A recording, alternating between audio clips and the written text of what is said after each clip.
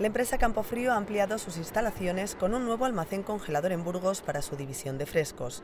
La consejera de Agricultura y Ganadería, Milagros Marcos, ha inaugurado estas instalaciones y ha destacado la importancia del sector cárnico y del porcino dentro de la industria alimentaria. El sector porcino generó en el año 2016, el último dato que tenemos cerrado, más de 900 millones de euros en Castilla y León.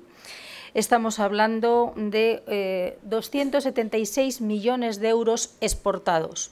Pero estamos hablando de que allí donde hay explotaciones de porcino bien dimensionadas, hay hasta un 90% más de población en el entorno rural. Por lo tanto, eh, una apuesta clara desde Castilla y León por este sector, por su capacidad de generación de empleo y su capacidad de asentar población en el territorio.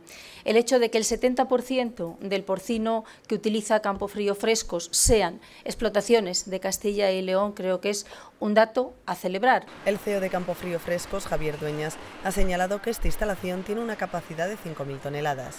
Su creación, ha dicho, fue una decisión por el incremento de ventas en el mercado nacional y de exportación. Estamos aquí inaugurando un almacén congelador que es para nosotros una inversión estratégica para nuestro proyecto. Este almacén congelador supone una inversión superior a 10 millones de euros con una creación de empleo superior a 50 personas. El sector cárnico supone el 26% de la industria agroalimentaria en Castilla y León. Con más de 800 industrias y una producción del 13% del volumen de carne en España, supera los 2.600 millones de euros en ventas y da trabajo a más de 10.600 personas.